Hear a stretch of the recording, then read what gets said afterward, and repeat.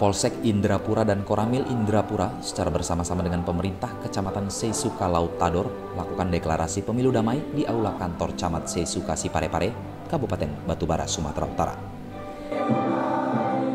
Deklarasi pemilu damai tersebut juga diikuti oleh para pemuka masyarakat, tokoh pemuda, dan perwakilan partai politik peserta pemilu. Ini tanggung jawab kita bersama. Untuk daerah pemilihan 4 Kecamatan Sesuka dan Kecamatan Medang Deras, ada 127 calon anggota legislatif Dewan Perwakilan Rakyat Daerah Kabupaten Batubara dari 16 partai politik yang akan memperebutkan 9 kursi. Empat poin pernyataan sikap yang telah disepakati ditandatangani secara bersama sebagai wujud dari kebersamaan untuk menjaga dan mensukseskan pemilu Pilpres 2019 yang aman dan damai. Menurut Adil Hasibuan, Camat Sesuka, menjaga keamanan dan kedamaian pemilu pada Pilpres 2009 tidak hanya menjadi tanggung jawab polisi dan TNI, namun masyarakat dan para partai peserta pemilu juga harus bekerja sama untuk mensukseskan pemilu damai tersebut. Penyelenggara dan pengawas serta para peserta pemilu wajib bersama-sama dengan pemerintah untuk menjadi corong bagi masyarakat mengkampanyekan pemilu damai 2019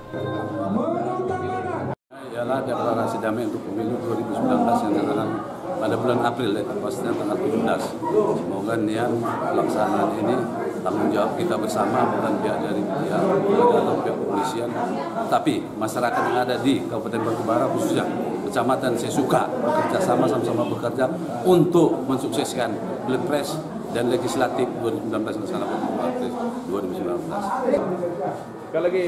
Dari Sumatera Utara, Tim Liputan Tribrata TV, Salam Tribrata. Sukses pemilu di 2019.